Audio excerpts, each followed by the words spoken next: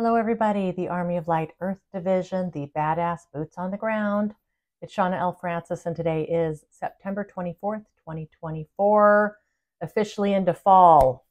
It's here, guys, the last few months of the year. How's everybody doing? Thanks so much for being here. We are decoding the living word. This is our ninth episode of this series with Melchizedek, who helped shape, form, and write a lot of what's in the Bible. So it's so amazing that we get to sit down with these beautiful beings and hear really what was the intention? Where did things get misconstrued? Where are things just plain wrong? Um, obviously, we uh, we've covered a lot of ground here, and we see a theme happening here. We see, um, you know, these ideas that some of what was written in the Bible, the original intentions were double entendres, double meanings, a meaning for historical context and a meaning for now with the ascension. Today, Melchizedek wants to talk about what is God? Who is God? What does this mean? And um, I've got a pretty lengthy channeling from them um, on God. And they want me to read specifically Exodus chapter 33. And um, because this kind of gives you a good idea of kind of all the contradictions of how God is portrayed in the scripture. So I'm going to read through that. Um, how's everybody doing? this is our ninth episode of Decoding the Living Word, the ninth episode. So we're quite a ways into it. We've learned about Adam and Eve and the serpent, and what does that really mean? We've talked about Noah. We've talked about Genesis in general. We've talked about um, who is Moses. We've talked about um, animal rituals and sacrifices that are so prevalent throughout scripture. So it's been quite an amazing journey. Um, feeling better today than I was last week. We got a head start on this. Things flowed more smoothly. And gosh, it, it's actually almost only 11 p.m. instead of midnight or 1 a.m. Uh, so feeling pretty good about this. And I'm going to go ahead and uh, dive in um, and again, I'm so glad that you're here. Thanks, everybody. Thanks for your comments and for subscribing. Thanks to all the newbies here who are watching. There's so much to go through, but really, this is about the ascension. It is about the negative reptilian regime's stronghold on this planet. We are playing the role of helping to seed consciousness with this information. And everything that we're talking about with the Bible relates back to this in some way, shape, or form. So even though it might be, you know, something that doesn't interest you, um, it certainly is germane to what we're going through right now and all kinds of lessons to be applied for today's teachings, today's audience. All right, so we're going to get back into Exodus and I'm going to read chapter 33 here for you all. um, I might skip over a few sentences just to keep it brief, but um, then we'll get into the channeling. All right the Lord, okay, the context here is right before this. Um, if you remember from last week's video, the Israelites had, Moses had gone up into the mountains to commune with God, and the Israelites, while he was gone, made a false idol made of gold, of a golden calf, and they were um, worshiping this calf. And Moses comes back down the mountain and sees that they've been worshiping this false idol, this false God, and this was really seen as a big sin in the story. And in fact, um, according to this, you know, chapter 32 here, God had the, the men who were um, still um, beholden to God go and slay 3,000 people uh, as part of the Israelites for having sinned so greatly against God. All right, so that's the setting right before this here 33. The Lord said to Moses, Depart, go hence, you and the people whom you have brought up out of the land of Egypt, to the land which I swore to Abraham, Isaac, and Jacob, saying, To your descendants I will give it, and I will send an angel before you, and I will drive out the Canaanites, the Amorites, the Hittites, the Perizzites, the Hivites, and the Jebusites. Go up to the land of flowing with milk and honey but I will not go up among you, lest I consume you in the way, for you are a stiff necked people. When the people heard these evil tidings, they mourned, and no man put on his ornaments, For the Lord had said to Moses, Say to the people of Israel, You are a stiff necked people. If for a single moment I should go up among you, I would consume you. So now put off your ornaments from you, that I may know what to do with you. Therefore the people of Israel stripped themselves of their ornaments from Mount Horeb onward. Verse 7 Now Moses used to take the tent up and pitch it outside the camp, far off from the camp, and he called it the tent of meeting. meeting. And everyone who sought the Lord would go out to the tent of meeting, which was outside the camp. Whenever Moses went out to the tent, all the people rose up, and every man stood at his tent door and looked after Moses until he had gone into the tent. When Moses entered the tent, the pillar of cloud would descend and stand at the door of the tent, and the Lord would speak with Moses. And when all the people saw the pillar of, of cloud standing at the door of the tent, all the people would rise up and worship, every man at his tent door. Thus the Lord used to speak to Moses face to face, as a man speaks to his friend. When Moses turned again into the camp, his servant Joshua, the son of Nun, a young man, did not depart from the tent. Moses said to the Lord, See, thou hast say thou sayest to me, Bring up this people, but thou hast not let me know whom you wilt send with me. Yet thou hast thou hast said, I know you by name, and you have also found favor in my sight. Now, therefore, I pray thee, if I have found favor in thy sight, show me now thy ways, that I may know thee and find favor in thy sight. Consider too that this nation is thy people. And he said, My presence will go with you, and I will give you rest. And he said to him, If thy presence will not go with me, do not carry us up from here, for how, how shall it be known that I have found favor in thy sight, and I and thy people. Is it not in thy going with us, so that we are distinct, I and thy people from all other people that are upon the face of the earth? Verse 17.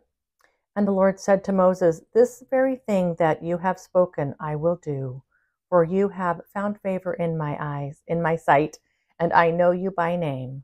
Moses said, I pray thee, show me thy glory. And he said, I will make all my goodness pass before you, and will proclaim before you my name, the Lord, and I will be gracious to whom I will be gracious, and I will show mercy upon who I will show mercy. But, he said, you cannot see my face, for man shall not see, and see me and live. And the Lord said, Behold, there is a place by me where you shall stand upon the rock, and while my glory passes by, I will put you in a cleft of the rock. And I will cover you, cover you with my hand until I have passed by. Then I will take away my hand, and you shall see my back, but my face shall not be seen. All right, and then that gets to 34 here. All right, so that's pretty long winded, but you can see how God was all over the place here, and um, Melchizedek wants to talk about God in this context. Okay. Here's Melchizedek. Here we have, once again, a conglomeration of many ideas placed into a seemingly cohesive chapter. Moses, as we talked about previously, was a channel. Moses did have the gift of being able to communicate with the likes of the order of Melchizedek and other highly evolved beings of light. Moses was a shepherd to the people. Moses carried a torch, a torch. He was an intermediary, an emissary. Here we see that Moses asked God if he could please reconsider not accompanying the Israelites to the new land. Could God not show mercy and walk with them on this passage? And God said, Yes, I will do this. What we'd like to talk about today Many of you have been asking out loud through these comments or to yourselves as you listen to these channelings, or even as you yourself has read your Bible sometime during your lifetime. Who is God in this context? What does God represent? Think of all the different forms of God mentioned in the Bible and other holy texts in circulation today on the planet. It's a maelstrom of contradiction, volatility, repentance, forgiveness, judgment, guidance, nurturing, fear, and love. This keeps you all very much on your toes, does it not? While it will not be possible for us to explain all the iterations of God as represented here in the Bible, the many versions of the Bible and other holy texts, we would like to set the record straight from Melchizedek's perspective on a few key points. All right. And they say here God is not your Savior. We are sorry to bring you this news so bluntly. It is such a well formed, well loved, and widely accepted phrase that has created an entire belief system that puts God in this position of saving.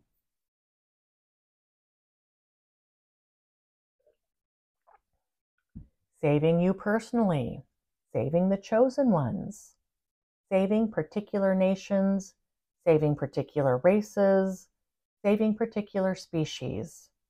What does this mean to be a savior? Dear ones, it's just a word. And with most words in most languages, all that this word represents and encapsulates makes it difficult to even wrangle this expression down to something representing universal truth. Mouthful. They continue here. God is not a force that has the ability to be anyone's or anything's savior. However, what you can now understand and, and re know from this historical line of thinking is that there's nothing to be saved. And you may say, well, wait a minute. We have this negative reptilian regime who is subjugating us who has been causing so much pain and suffering here. Surely we must be saved from this tyranny. And we say to you, the antidote to this very challenging situation is that you who hear these messages, you who are awakening to the truth of such things, it's that you understand you are of Source, you are of God. It's the collective consciousness, the I am presence, the unity of all things that gets lost here on earth that is now ready to be remembered. They say here, you are the Godhead, dear friends. And of course, you've never been taught this. What kind of blasphemy is that statement? What kind of attitude does that person have? Talk about arrogance with the big roll of the eyes. The sooner each of you can understand and grasp this concept that you, as singularities, individuated here into these beautiful bodies and expressions on earth, are magnificently and deliberately awakening to this higher truth. Excuse me. Now, you may not want to go around to your neighbors telling everyone, hey, I'm the Godhead and you are too. At least not yet. So we do this for you, dear ones. We can be the ones to enlighten you to this fact. And Melchizedek continues here. We see you in truth. We know who you are in truth. We know what you are in truth. And in the seeing, there is the knowing. And in the knowing, there are choices. God may not be your Savior because that implies that something outside of you is going to come and rescue you. You get the glory of rescu- rescuing yourselves, dear ones, and it is the only way this is going to be possible yeah, this is very much in alignment with um, what the Galactic Federation of Light talked about um, for all those years um, as I was first channeling them when I started this channel, this YouTube channel. Really, this is not a rescue mission. We have chosen this. We are ascending as a species. This is taking, it's requiring that we raise our consciousness. We increase our fields, our frequencies. We embrace love and light. We work through this density and we have a reckoning with what's been going on here. Um, and, you know, this is trying to tie all of these concepts together. We are the Godhead, we are of Source. We are all unified in this way as well. And they continue here. If you could only see what we see and comprehend what we comprehend, we follow the lines of thought and the thinking from generation to generation. We, as your guides, gently nurture the bits and pieces of your consciousness that are ready to know. And lest we skip too far ahead in the process and potentially derail what progress has been made around consciousness for these new ideas, we continue to gently nurture these budding seeds of knowing, these sparks that are not now growing and beginning to burn more fully. Remember, dear ones, that you are clearing the pathway here for the larger consciousness on this planet and beyond. No big deal, we've got this. All right, they continue. Let us all sit with this awareness that we are all of Source. We all are contained within this immense sea of consciousness.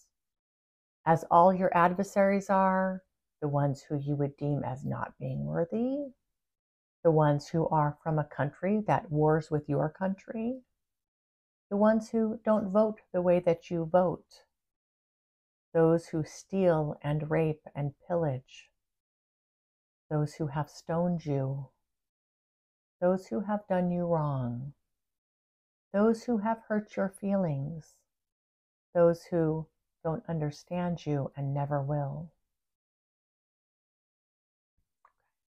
Yes, dear ones, even the negative reptilians and their allies are of the same source. Now, Within this source consciousness, this Godhead framework, there are all levels of dark and light consciousness. All fall within God's purview. No one is excluded. And just like this dear one who sits before you, redemption is possible for all who want it. It may take several lifetimes, but it's possible. Okay. And they continue here. Let us talk about redemption.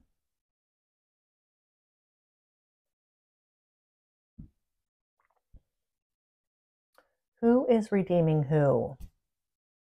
The archaic way of understanding redemption precludes one from knowing redemption in today's ascending world. Redemption, dear ones, related to being saved, restoring of something that has been lost, gaining favor in God's eyes where once there was no favor.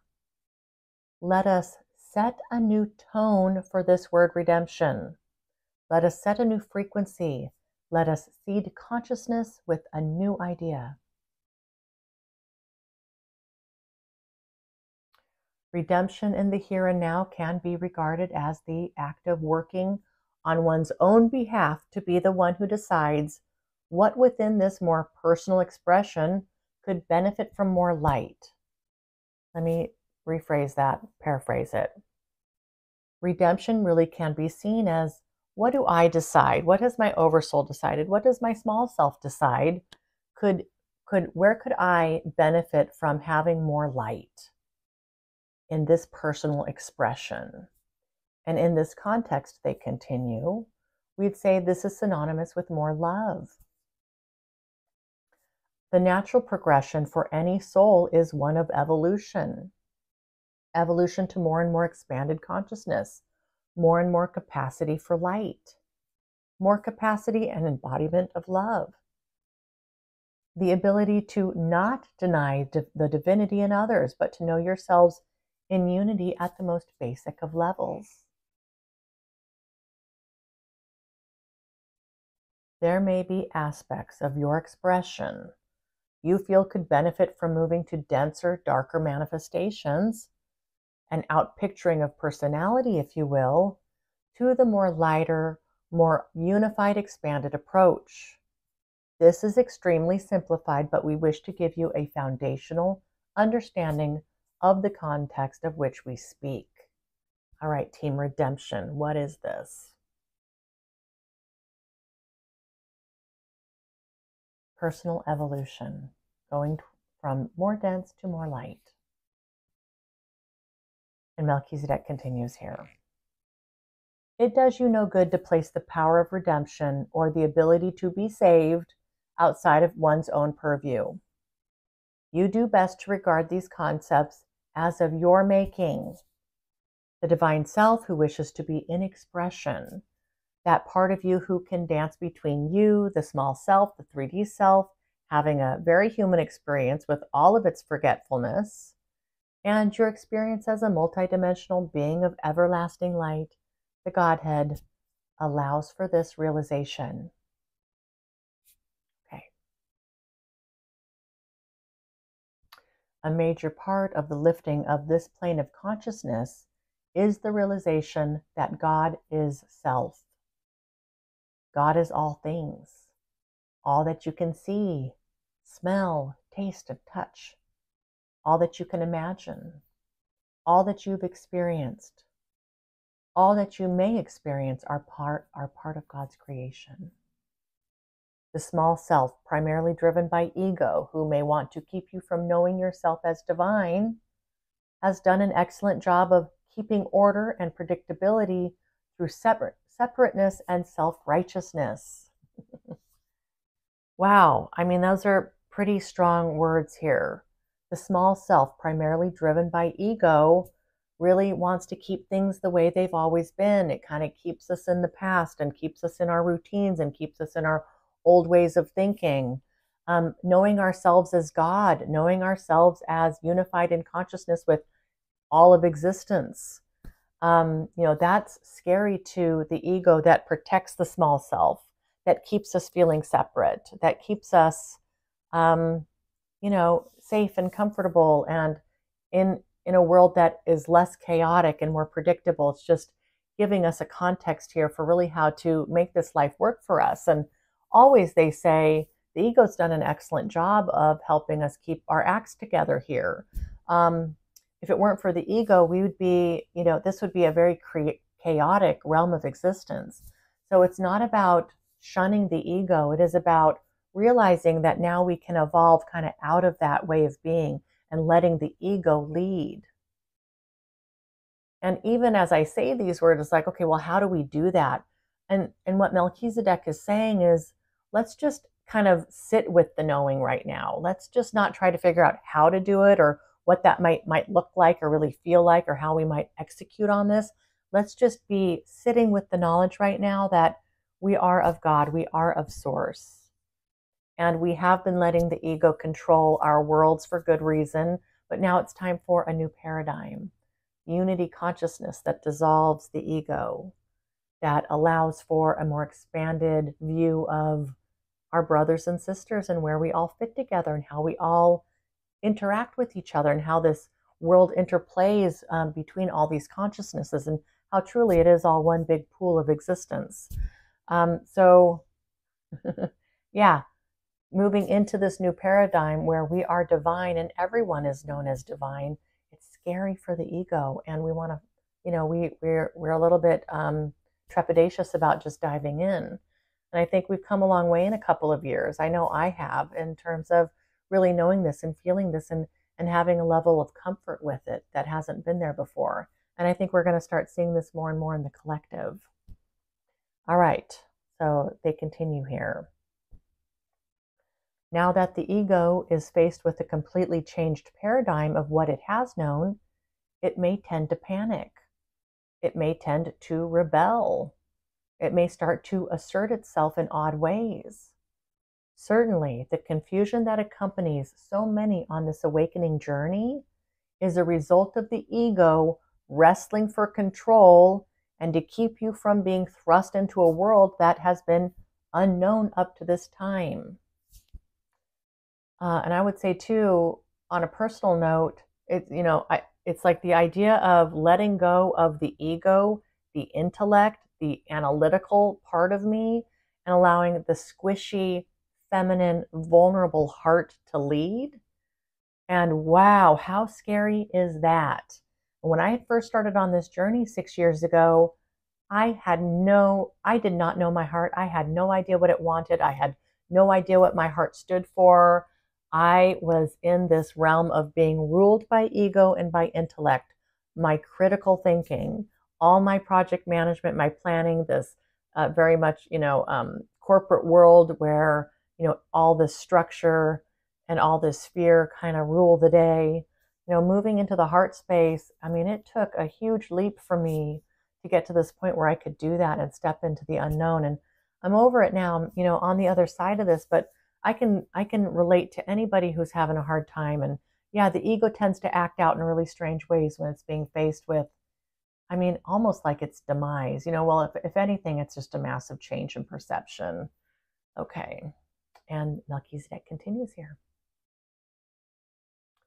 As humanity begins to be exposed to such concepts, excuse me, as you begin to acclimate collectively to these heightened energies, as consciousness continues to be seeded with information of a new age, trust will begin to build, as will excitement. A pondering, what if? Knowing yourselves in union and in a collective consciousness with your divine selves helping to run the show will help with the much needed acclimation as you move into the new. It's a really good time for those who are willing and able and who have access to this information to begin to let go of the institutional God as canonized in your scripture for that of self empowerment, freedom, sovereignty, and collective union. Okay. That's the last sentence here. One more time. It's a really good time for those of us who have access to these messages and to these frequencies and to this knowledge to really start you know, letting go of any institutionalized feelings, beliefs, thoughts around God, and trading that in for self empowerment, freedom, sovereignty, and collective union. Yeah, so I think most of us are there. I think, you know, we're, this is probably going to be like, yes, we agree. I know this. This feels right. And I'm on that path. So I hope so. And if you're not, um, it's a perfect place for you to be as well learning all this together through this collective consciousness. So, again, thanks for being here. All right, team. Um, I've been posting a few things on our Facebook group. I'm not on Facebook much. I'm not on my computer much. I don't do Messenger, um, but we do have a beautiful group on Facebook, Starseed Lifestyle with Shawna L. Frances, and the link is always in my descriptions here if you want to join that. But I'm putting some uh, some excerpts from the book um, up there. And um, as I've finished the kind of putting together the manuscript for where it's at, and again, this is a, a channeled book with Melchizedek that's really talking mostly about the negative reptilian regime and kind of, uh, it's like really gearing up for the consciousness outside of our collective to be begin to be seeded with this information. So it's kind of the next level out of our group. Um, so, and I, I'd say we're about, sounds like we're about halfway done with the book. And I'm really hoping, I mean, uh, even this week possibly to start channeling again for the book and getting that ready. And in an ideal world, we're finishing it up by the end of the year. That is my, I don't know if I'm going to make that, if we're going to have time to actually get that done, but that's going to be my goal to get the bulk of this work at least channeled by the end of the year and be publishing early next year. And I really do feel like um, once this book is published, I just, I'd love to get out. I'd love to do some tra- traveling, promoting the book. Um, I see myself kind of on a stage and talking about negative reptilians to who to people who have never even heard of this concept. Um, we'll see the sparks fly there, but um, I'm quite excited for it. You know, I actually don't know what 2025 is going to bring just yet, but I have these visions. Um, Also, I'm going to be putting out another newsletter here soon, and it's going to be more of a personal nature. And I want to be talking a little bit more about what's been going on behind the scenes with Melchizedek and this union. We are a little over two months into this union in, in its current state. And um, yeah, I think it'd just be kind of fun to share some things that are happening behind the scenes. So if you haven't signed up for the newsletter, there's also a link below in the description for that. You can get to all the stuff on my website, shawnalfrances.com. All right. How's everyone doing? I hope well. I hope you're doing amazing. Welcome to fall. Here we are. Um, time's chugging along. I'm excited about the last few months of 2024. I think there's going to be a lot of potential here. And um, yeah, I hope you are too. Okay, team, I love you so much. We'll see you next week. Mwah.